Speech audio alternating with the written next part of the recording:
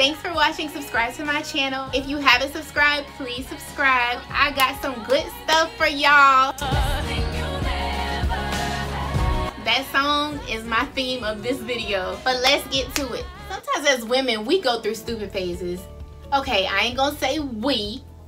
I went through stupid phases, especially when I was in college. Like, what? I went through this stupid phase of being loyal and being faithful to people who I clearly knew was out here running the streets. I could see it with my own eyes and still be like, nah, that ain't it.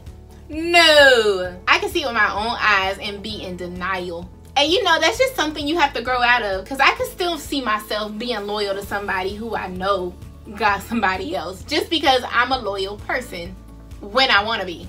Don't make me mad. I was entangled with somebody in college and I took care of him. I took him to class, I took him to practice, I did his work for him, I wrote his papers for him, I made sure he didn't fail his classes, I did most of his work. But for some reason, I have like this red flag deflector on me. Like, what is a red flag? I guess I didn't know what red flags was because I didn't want to know. Mm. Doing all this stuff for him. He was always at my house, but I never went, I never seen the inside of his place. I never rode in his car, which now I know was his girlfriend's car. We never went out to eat, but he eating up all my food and my damn groceries in my house. We were never seen together except on campus, and that was rare. And then I couldn't even tell people that we talked. Y'all see all the red flags? Them red flags was looking like six flags to me, and I was on the way.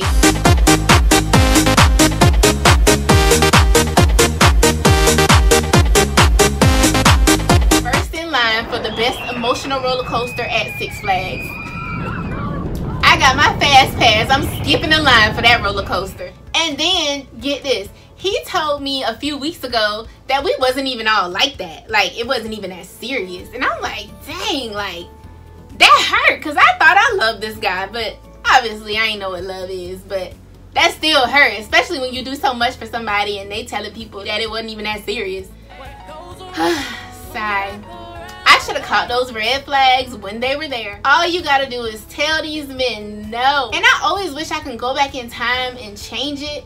But if I went back in time, I'd probably do the same little stupid thing. I'd do the same thing. Because I could find myself in a situation like that right now and still let somebody do that to me without cutting it off or telling them no you're not gonna treat me like this so it's just something you gotta learn on your own but once you see those red flags and you stop letting people treat you like that, they will cut it out. The only reason they do it is because we allow it.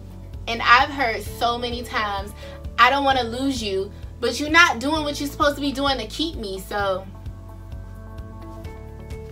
how is that my problem? If you wanted to, you would. Period. Point blank, period, point blank, simple. You're not doing what you're supposed to be doing to keep me, so I'm sorry. I gotta go. I have to protect my energy because this ain't it. Y'all better watch out for them red flags. I probably still ignore red flags now, but I'm definitely more mindful of red flags. And I'm not here for it. Make sure y'all don't have them red flag deflectors. Make sure y'all got them red flag detectors because this Six Flags ain't it. Because being at this theme park Subscribe, like, comment, and share. See you next episode.